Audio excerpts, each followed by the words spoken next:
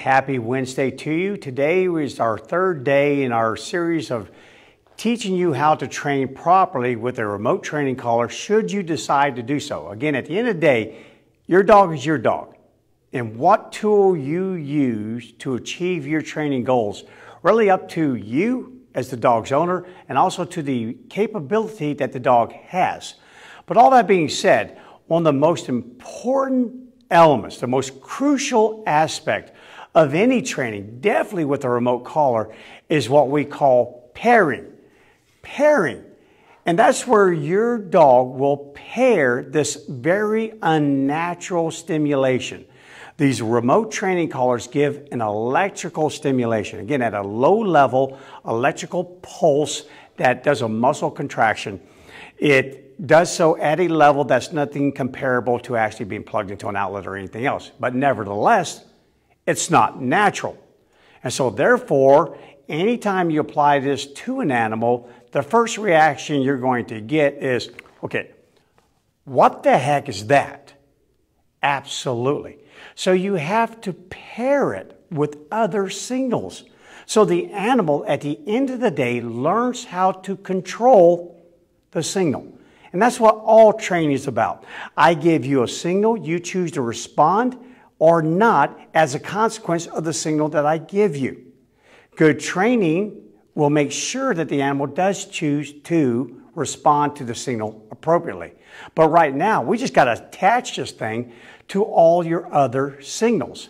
The biggest mistake that a lot of people make with these, again, they think they bought a remote control and they didn't teach their dog about pairing. And that's the same mistake that was made by remote training collars in the very beginning. Uh, so many people who are not trained in their use use them to curb unwanted behaviors. A lot of hunters found out the hard way when their dog went chasing after bad prey and they fired off a button at a very high level, so it went beyond an irritant. It went to something that was extremely uncomfortable, and the dog at that moment, not knowing what it was, did what you would have done. It did what's called natural pairing. So if I touch this board back here right now and something burns my hand, and I go, geez, I'm not going to look at you and go, what, what, what did you just do to me? No, I'm going to look at the board. And that's what so many dogs did. What the heck was that? It's got to be the tree I just touched. It was the creek I was in. It was the boulder I was jumping over. It was the bushes I was running through. And unfortunately, half of the hunting dogs in the world back in the early 1970s quit hunting. They wouldn't even get out of the back of the pickup truck.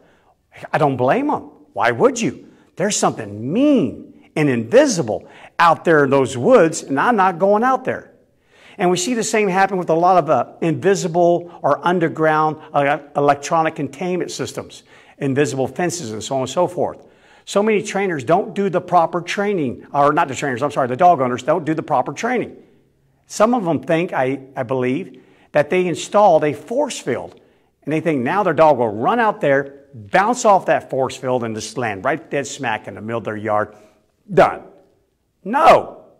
It goes out there, it gets hit at a high level, because those are very high. They're designed to keep the animal in no matter what the temptation is, even though there's only air separating me and that rabbit that's only six feet away.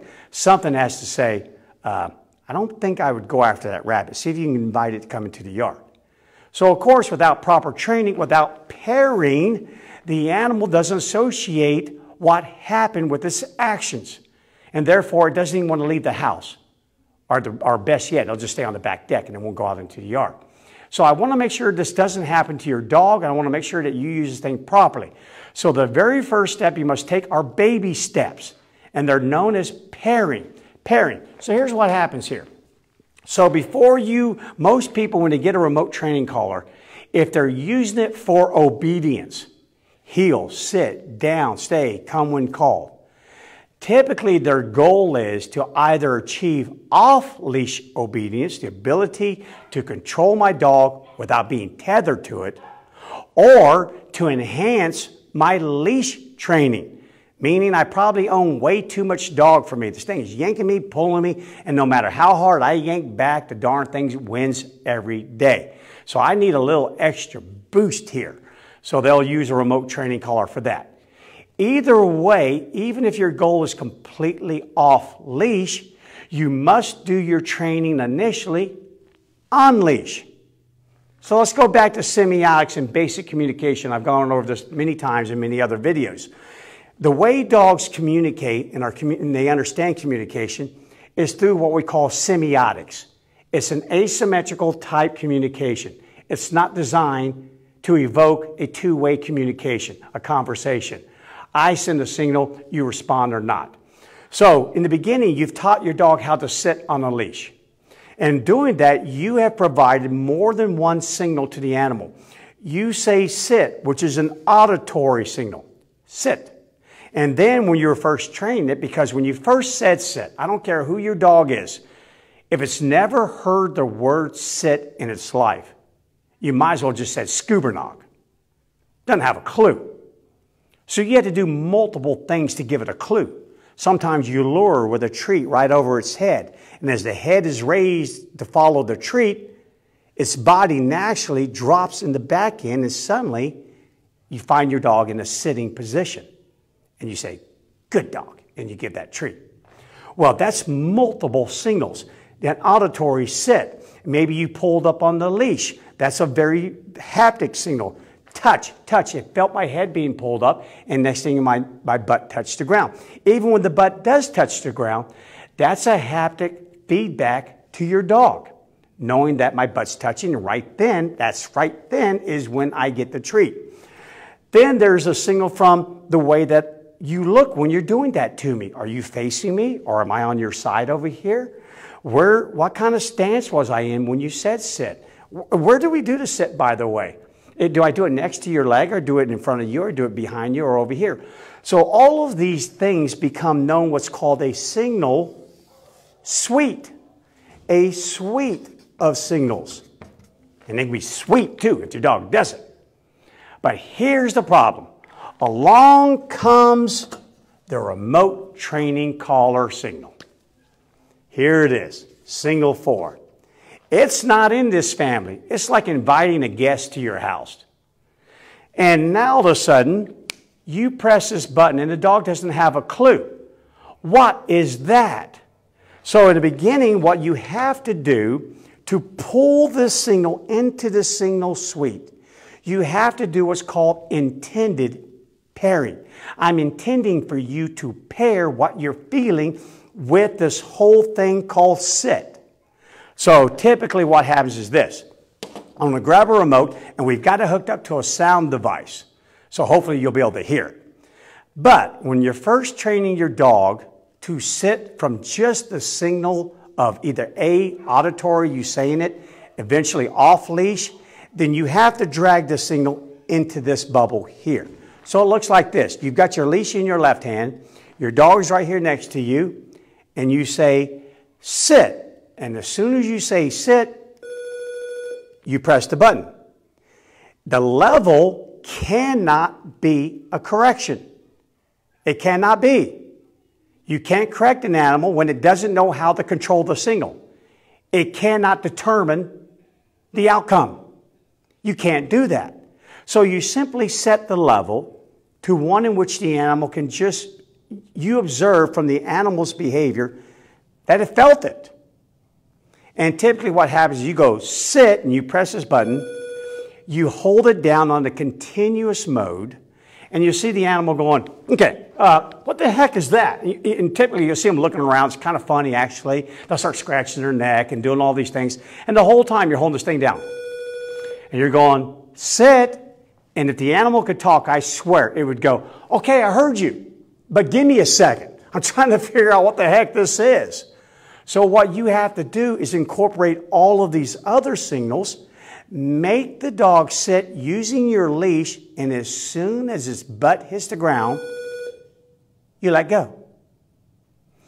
Now, your average dog, in all my years of watching this, within about five or sit or six repetitions of the sit, they start to immediately go, okay, I'm not sure what that is, but I have noticed something here. The second that dude says sit, this thing gets me. And as soon as my butt hits the ground, it goes away. Bingo. So you can control it. And we demonstrate that they can control it because we go, sit, and they do nothing. Good job. Sit, you don't. They sit, we let go. Through that, through many repetitions, drawing that contrast back and forth, you now just included the dog and, or not the dog, but the signal into this family.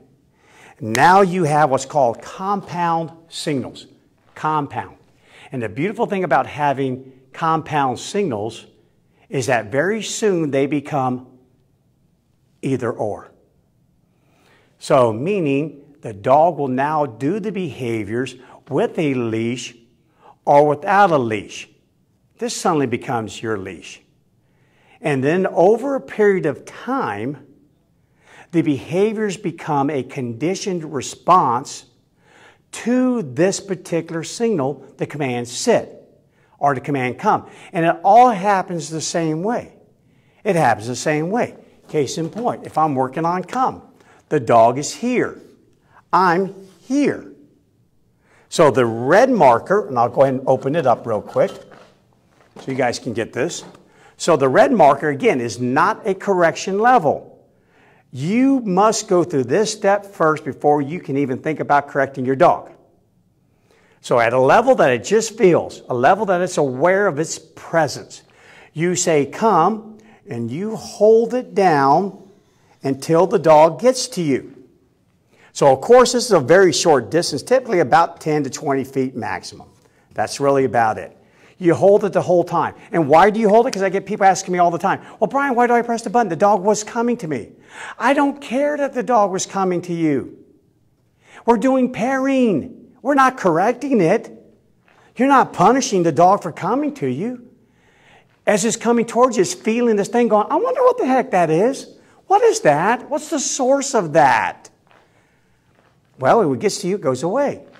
Well, after multiple repetitions, Uh, I don't know what it is, but I do notice that when the dude calls me, that's when I feel it. When I get to him, that's when it goes away. That's called initial pairing. And that's what has to be done first. So you got to sit on that button. Sit till they do. Heel till they do. Come till they do. Down till they do. You must go through this, no matter how many days it takes, because only then will you earn the right that if you need to turn it up, and that's why it comes with many levels. Okay, just so you know, dog, I love you to death, but you got to come over here when I call you. So now, if you use it to correct a dog, just like you would on a long leash, like come, but you don't have a long leash on to do that. I want to use this instead. Now, if I do press at a high level, now the dog understands and goes, oh, okay, okay, okay, I'm coming. If I start heading towards that guy, it'll go away. But tomorrow, there's some specific rules about correcting with these that I'm going to go over with you. So you understand it and you do it properly. Okay? So today was all about initial pairing in the what's called intended pairing category. Soon, here in a few days, I will talk to you about natural pairing. Yeah, there's times where you want that. I had nothing to do with that counter. I just wouldn't put my paws on if I were you. I had nothing to do with that flower bed. Uh-uh, that stove, that wasn't me. Mm-mm. But in obedience, any level of obedience, it's absolutely essential that the dog connect this sensation with you. You're doing that. Yeah, I am. that's me, buddy. All day, every day, that's me. But I tell you what, you know how to make it go away, don't you? Yes, I do. Sweet. So tomorrow I'll talk to you about how to correct with the dog, and we'll even demonstrate on the dog doing the initial phase, and then, then we'll get one that if we have to correct. Yeah, it has to be a reason to correct, so I'm just not going to go pressing a button on a correction level just to see what happens. You definitely don't do that either. All right, so again, there you go. So if you're going to use this device, you're going to use a remote training collar, not one of these markers here, my good old remote training collar. If you're going to use one, just use it right. And make sure you do not skip the step of initial intended pairing.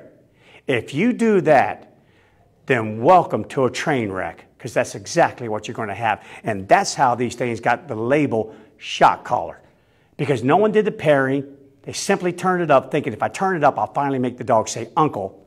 Yeah.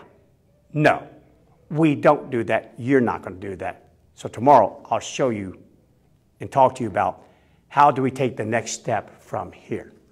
But in the meantime, if you got one, do it the right way. All right, guys, you know how this goes. If you found this beneficial for you, great. If you think it'll be beneficial for someone else, share it. And if you have a question, send it to me. I'll do my best to answer for you. Stay tuned for tomorrow. We're going to move up a little bit. See you then.